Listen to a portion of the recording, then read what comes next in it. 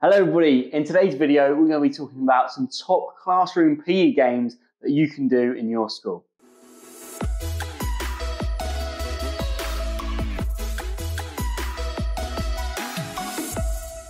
So the first one we're going to focus on is a game that you can do which is associated to dance. It's a really good game, very relevant to what you do within your lessons and we call this replace the beat. Okay, so in dance we like to count to eight.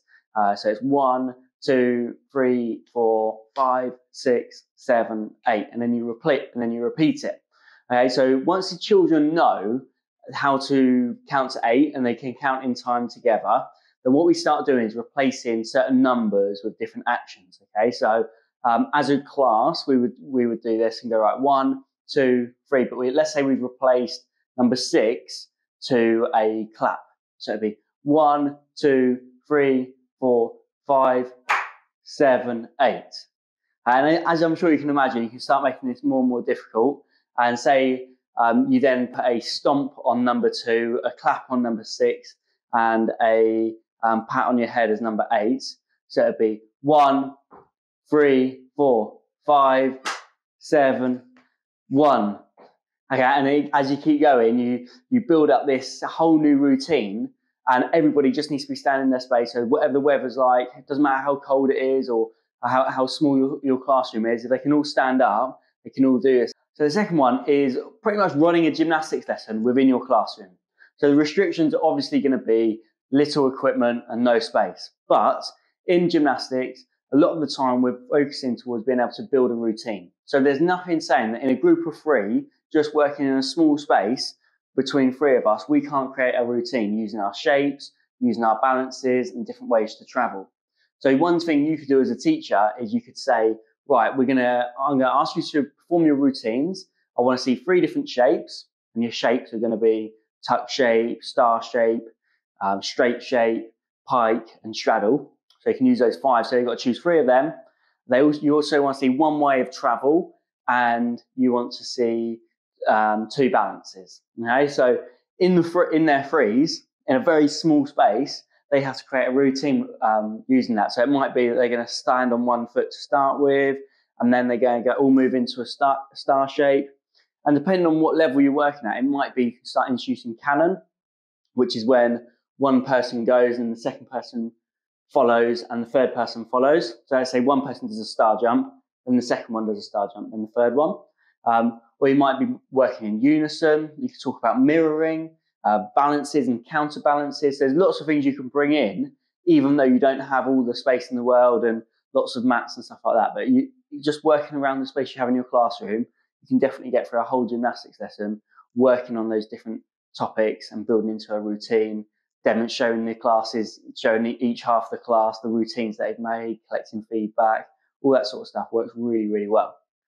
So the second one is hand tennis. Now I love this game. And I've done this a number of times with my uh, groups. And this is basically, you just get a piece of paper, just scrunch it up, and then you've got a improvised tennis ball. We're using our hand, and rather than just like trying to get a rally straight away or trying to play a match or something, you can really go into some detail with this. And it, for example, you might be going into you might be saying about the forehand, right? We're going to relearn the forehand today. And about opening up, stepping forwards, and if a partner's throwing it and they're they're hitting it back to them, partners then working on their catching skills as well.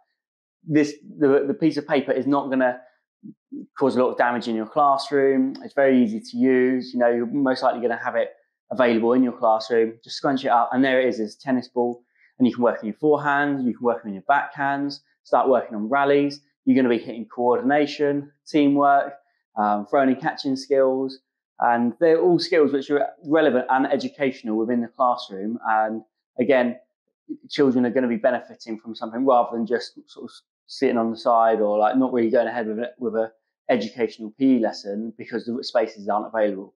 So that works really well. And next up, I'm going to show you three different games which are maybe less educational, but really fun. And the kids are going to love it and you keep them really entertained for the whole lesson. So um, the first one is elephants football. Okay, so now with elephant football, all you need is a, a small soft ball. And what everybody does is they stand in a circle and their feet are touching the person next to them. So like if I was stood there with my legs open, the next person would um, stand next to me with their legs open, okay, and so on and so on around the whole um, circle. So you have 30 children in a circle, legs open, and the, with your legs open, that is your goal that you have to protect. Okay, but there's a, let's say you're using a tennis ball, children have to try and push the tennis ball in between other people's legs. So they're, they're protecting their legs, but also trying to hit the ball for other people's legs. Um, good thing with this is if you do it, don't if, if they are if they lose if the ball goes through their legs, rather than making them sit down and they're out, just give them like five lives, so they're constantly going to be in it um, and they're engaged. And you could honestly do this for so long with um, with children; they love it. It's a really good game. Um, make sure you, ensure it's safe the whole time. So one thing that will happen is maybe they'll start picking the ball up and trying to like throw it. So just say you've got to hit it. So you've got to be like patting the ball. Um, and also they might start leaning forwards and breaking the circles, just making sure that the feet are always touching. Uh, but yeah, it works really well. Kids will be re- really entertained. And you however, however you want, you could just set up like three different circles with 10 children in each or one big circle, whatever you want to do. Um, but yeah, works really well. So my next game, instead of elephant football, it's called crab football, and it's quite different to elephant football. Crab football is actually where children have to they can move around. They're basically playing a football match, but they have to move around on their hands and legs. You know, their belly facing the um, facing up. Okay, so they're moving around like a crab, which means it's really slow, which is great for um, trying to manage the you know the energy in the session inside, making sure people aren't running around. And all you do is you just put maybe um, some some chairs as the goals, and children put them in teams of three or four, and they they play, and yeah, they're trying to kick the ball into the other team's goals, but they have to be staying like a crab the whole time. So it is. Uh, it depends on the space you've got and how many children you've got. So be aware of that one. But if you've got this, a suitable space, it works really well, and children will love it, and it's, it's a good fun game. And finally, going back to a more sort of dance, sort of drama game, which is called Zip Zap Boing. So it's Zip Zap Boing. All right. And um, the way it works is you stand in a circle and everyone will have their hands like this. So we say in a circle. Now, if I say zip I, and I zip the imaginary energy that way, then the person next to me will have just received the energy that way. Now, they can either go zip and pass the energy on that way, or they can say zap and pass it back this way. Okay, but if they said zap and push that way, then they would lose a life. Okay, because zip is going with the energy, zap goes back from where it came from, and then boing goes to the other.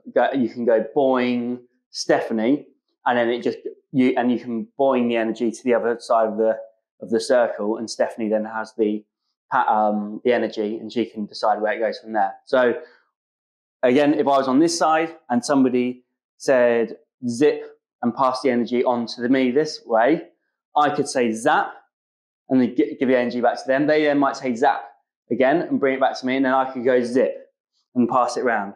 So zip goes with the energy, zap comes back, and again, you might want to do this in three different groups or you know five different groups, or you can do it as one big group, whatever works for you, working on the space. Zip zap boing, again, one of them games that will easily get you through 15, 20 minutes, and maybe even more than that, and the kids will love it. So, yeah, um, there's three different sort of fun games that I finished on, but also three three games which are a bit more educational and beneficial to the children in terms of their PE. So hopefully they uh, they will help you. Uh, you're probably watching this video today because you're about to go do a session in in a classroom. So good luck in your session if that is the case and let me know how you get on. Please do like, comment, and subscribe, and I'll see you in the next video.